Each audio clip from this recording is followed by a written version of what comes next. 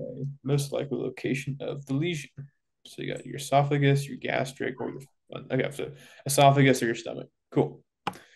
48 year old presents with ER, chest pain, shortness of breath, swallowing difficulties, suddenly, forceful vomiting, subcutaneous emphysema in the neck and chest regions, air in the mediastinum, and a small pleural effusion. Okay, so I think this is probably going to be more. I mean, I'm, I'm leaning already lower esophagus because um, forceful vomiting. I'm thinking she probably tore the submucosal lining of the esophagus.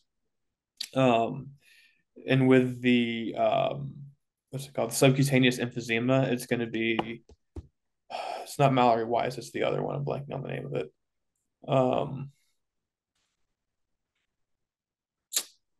I'd pick it in a lineup for sure, but I think it's lower esophagus.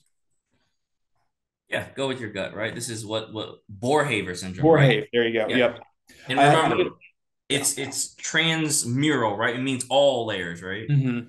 Right, because the only way... Weiss is the submucant submucant submucosal. Submucosal, thank you. Yes, yes, yes, yes. Boerhaave yes. is all the way through, and that's why I get the air and that kind of crepitus.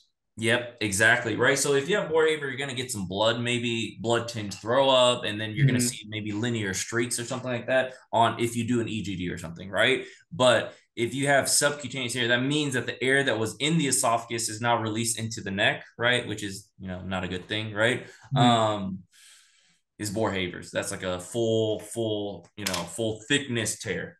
Yep.